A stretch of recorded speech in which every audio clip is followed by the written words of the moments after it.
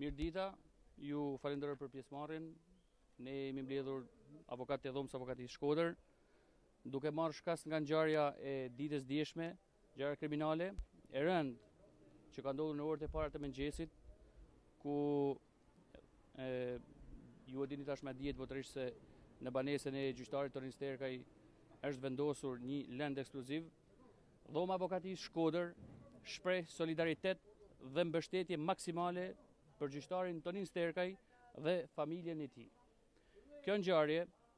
është cënim real i integritetit të shtetit dhe nivelit të sigurisë publike në qytetin tonë, e cila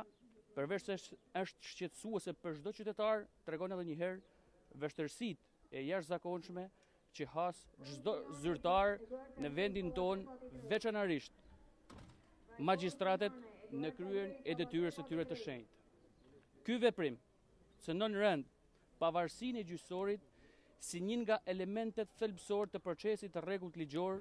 dhe kërkon një kundërpërgjigje të organeve ligjzbatuese për zbulimin e së vërtetës. Dhoma Avokatisë Shkodër inkurajon fuqimisht organet ligjzbatuese të zbardhin sa më parë këtë ngjarje dhe vendosin para përgjegjësisë penale të autorëve të ngjarjes,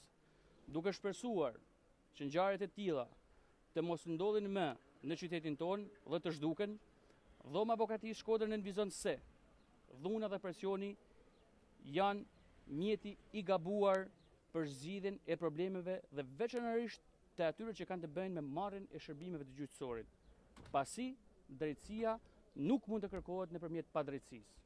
Faleminderit. Për... Nëse, do, nëse do të zeni, ju si trup avokatie do ta mbroni?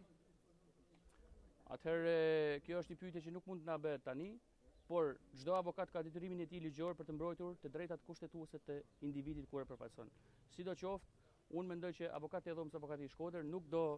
të ishin komodë në mbrojtjen e një çështje të tillë, mendoj unë, por gjithsesi Shqipëria ka shumë avokatë dhe nuk besoj që ai individ i cili nesër është autori i kësaj vepre penale,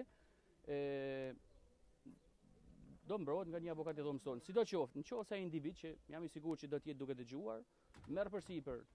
të pranojë fajsinë e tij dhe të dalë publikisht që e ka bërë dhe të tregojë dhe arsyen pse e ka bërë, do jetë Anton Kosteri që do mbrojë falas.